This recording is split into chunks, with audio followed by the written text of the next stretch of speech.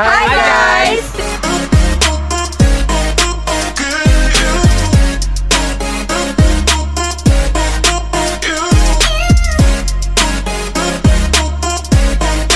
Today, we're going to perform an earth science activity entitled Activity 1 Water, Rocks, and Soil. Activity 2 Break Me Down. Let's go! One, two, ready, go. Different types of rock are found all over the ground. What started as a rock can become beaten down. It happens every day, whether we notice or not. Let us proceed to the procedure. the In performing this activity, we should be careful and follow the steps. Weathering, erosion, and Pour the water in the glass jar. Make sure that it's only half filled. up in this position? Put the small and the Force samples. is always pulling things down. Then cover it Water, tightly. wind, and ice are Shake the glass for about 2 minutes. Rain beats down on surfaces and weathers parts away. Waves pound constantly and they create more sand each day. Remove the cover of the glass jar. And erode the parts of Replace it with a piece of cloth tied at the brim of the water bottle with the use of the rubber band. the land is why we need to listen to Then, turn the glass upside down, so empty the water in the bottle. Atmospheric changes cause the air to start to move. When the water is gone, wind is constant and remove the the piece of cloth from the jar and examine the rock samples.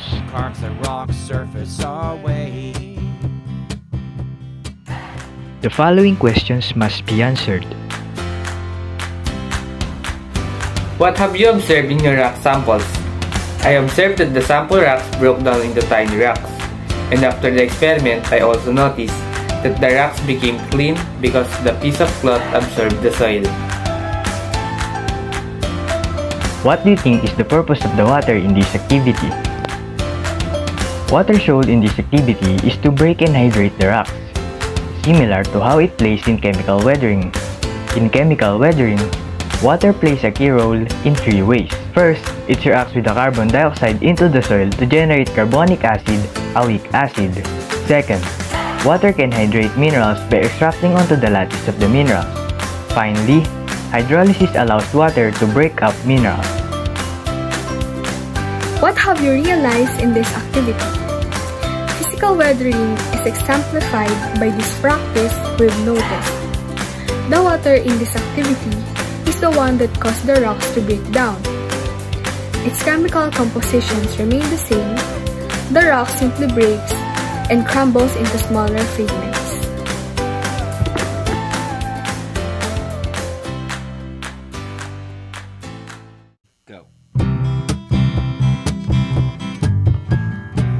Different types of rock are found all over the ground. What started as a rock can become beaten down. It happens every day, whether we notice or not. Let's proceed to the slowly, procedure. rock cycle is an afterthought. Prepare the cups that we will be using in this activity. The cups will be assigned with water at room temperature, hot water, and room temperature vinegar. For each assigned liquid is the equivalent tablet to be placed inside, whole, broken, and crushed. Do this in 9 setups. Label the cups according to the particle size of the antacid you will be dissolving. Use a mortar and pestle to break and crush the tablet. Then, put 100 ml of assigned liquid to the cups. Drop the tablet into the appropriate cups. Record the time when you place the tablet and the time that the tablet has completely dissolved and no traces of the tablet is visible. Atmospheric changes cause the air to start to move. Sometimes this wind is constant and in rocks it weathers grooves. Sometimes it picks up sand and carves the rock surface away. Because it happens slowly, we don't notice changes every day. Erosion, and deposition. How did this sediment end up in this position? The force of gravity is always pulling things down. Water, wind, and ice are always giving rocks a good breakdown. When the temperature drops to 32, we get some ice and snow. Over years, glaciers can form, and through valleys they bulldoze. This ice gets into cracks and rock, expands and breaks the rock down. which tablet size and liquid combination resulted in fastest dissol- dissolution time. Based on our observation, the tablet size and liquid combination resulted in fastest dissolution time is vinegar, acetic acid, and crushed antacid tablet. What is the relationship between the particle size and the time it takes for the tablet to dissolve? How does this relationship apply to weathering in nature? The relationship between the particle size and the time it takes to dissolve for a tablet is that the smaller the particle size, the faster the tablet to dissolve. The larger the particle size, the slower the tablet to dissolve. This relationship holds true in nature because as the particle size increases, the weathering rate decreases, while as the particle size decreases, the weathering rate increases. Using the activity as a model, explain how mechanical weathering contributes to chemical weathering. How can you demonstrate that chemical weathering can hasten mechanical weathering? Based on the activity that we perform, we've noticed that as we break the antacid tablet into smaller pieces, its dissolution time gets faster and faster. This shows that mechanical weathering increases the overall surface area when it breaks down the antacid tablet as a representation of rocks into smaller fragments. Increased surface area provides more space for chemical weathering to attack the antacid tablets or rocks, allowing the chemical weathering to speed up.